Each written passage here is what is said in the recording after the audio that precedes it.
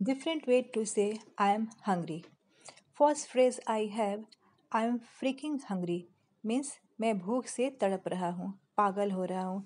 जब आपको बहुत ज़ोरों से भूख लगी रहती है और दिमाग चलना बंद हो जाता है तो आप बोलेंगे I am freaking hungry example A B को बोल रहा है I am freaking hungry please give me something to eat तो बी बोल रहा है श्योर थिंग इट दिस ज़रूर, ये लो, खा लो।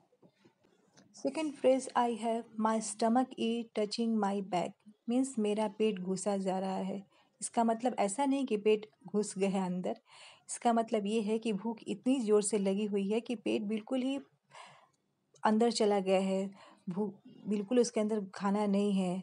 तो you can use this phrase my stomach is touching my back example A B को बोल रहा है hey what's happen to you why are you not concentrating on your work तो बी बोल रहा है because my stomach is touching my back I need something it to eat तो B बोल रहा है कि मेरा पेट अंदर तक चला गया है, मीन्स मुझे बहुत भूख लगी है I need something to eat मुझे कुछ खाने को चाहिए।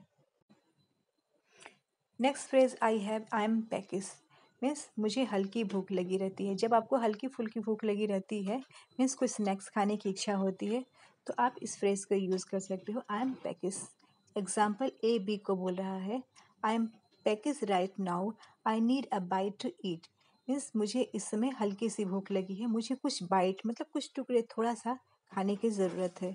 तो बी बोल रहा है हियर हैज़ सम चिप्स ये चिप्स है। Next phrase I have ravenous ravenous means जब बहुत ज़्यादा भूख लग जाती है, इतनी तेज़ में भूख लगती है कि हमारा दिमाग चलना बंद कर सकता है।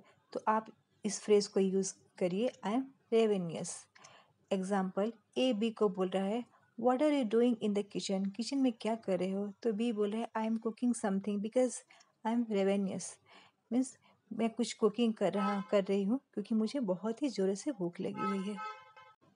Next sentence I have I am starving means मैं भूख से मरा जा रहा हूँ। जब बहुत भूख लगती हुई है तो आई एम हंगरी के बजाय आप बोलिए I am starving example A B को बोल रहा है are not we done with this meeting yet I am starving तो बी बोल रहा है yes you are done now you can go हाँ तुम्हारा काम हो गया है तो जा सकते हो।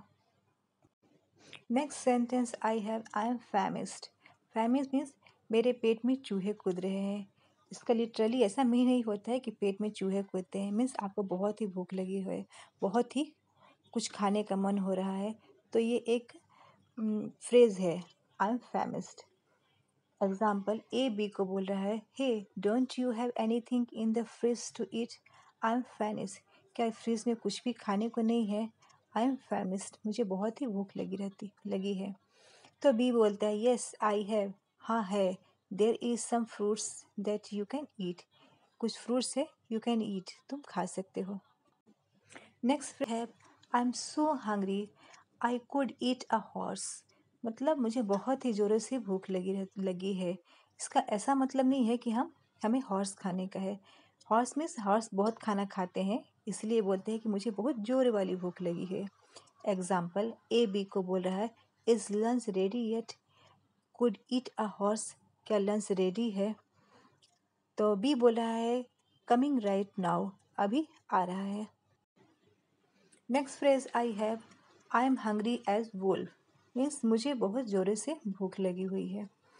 एग्ज़ाम्पल ए बी को बोल रहा है do you want to eat something तो बी बोल रहा है yes please I am hungry as a wolf हाँ मुझे बहुत भूख लगी हुई है।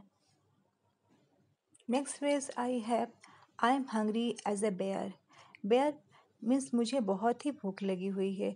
बेयर बहुत ही खाना खाते हैं, इसीलिए यहाँ पे इस फ्रेज का यूज़ किया गया है।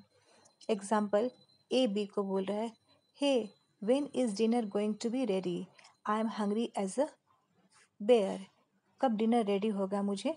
बहुत ही ज़ोरों से भूख लगी है। तो बी बोल रहा है इन जस्ट फाइव मिनट बस पाँच मिनट में. Next phrase I have I have got the munchies munchies मतलब कुछ, मुझे कुछ खाना है। छोटा मोटा भूख जो छोटी मोटी भूख लगी रहती है, उसके लिए इस फ्रेज को यूज़ किया जाता है। एग्ज़ाम्पल ए बी को बोल रहा है, hey I have got the munchies मुझे हल्की सी भूख लगी है। Do you have something to eat क्या तुम्हारे पास कुछ खाने को है? तो बी बोला yes there are some chips in the closet that you can eat हाँ क्लोजेस्ट में कुछ चिप्स है, तुम खा सकते हो. Next phrase I have I need food means मुझे खाना है। ये आप सिंपल वे में यूज़ कर सकते हैं। एग्ज़ाम्पल ए, बी को बोल रहा है आई नीड फ़ूड तो बी बोल रहा है okay wait for some time कुछ टाइम इंतज़ार करो। Next phrase I have I need something to eat means मुझे खाने को चाहिए। इसका भी यूज़ आप सिंपल वे में बोल सकते हैं। Instead of saying I am hungry you can use this phrase example A B को बोल रहा है hey I need something to eat मुझे कुछ खाना चाहिए। तो बी बोले ओके हैव सम एप्पल्स ठीक है ये कुछ एप्पल्स खा लो। That's all for today thank you